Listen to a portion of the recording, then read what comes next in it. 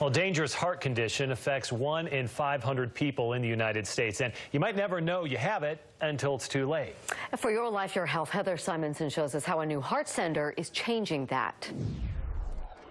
What I loved about it. Mark Seastrand teaches at UVU just four weeks after open heart surgery. My goal was to try to get to that class, and I made it. He's extremely lucky, and also extremely lucky that he doesn't have you know, permanent brain damage. Two years ago, while in Orlando on a family trip, he had a massive heart attack. The no morning, I went down and I had a, you know, a, a skull fracture and bleeding on the brain. Physicians at Intermountain Medical Center Heart Institute's new hypertrophic cardiomyopathy center diagnosed him with HCM.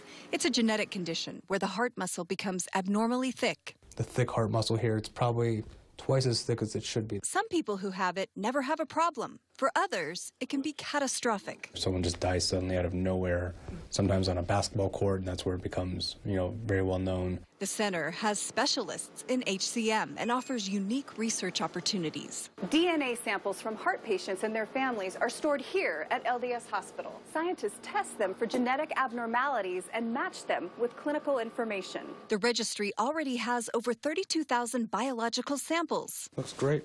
Good strong beat. Yeah, looks good. Mark's surgery last December was a success. That bottleneck's gone. He and his wife went on a dream trip to Israel last June and now have peace of mind. She was always worried about me. To not have that be the case now is, you know, it's it makes you feel much better. And can live life to the fullest. For Your Life, Your Health, I'm Heather Simonsen.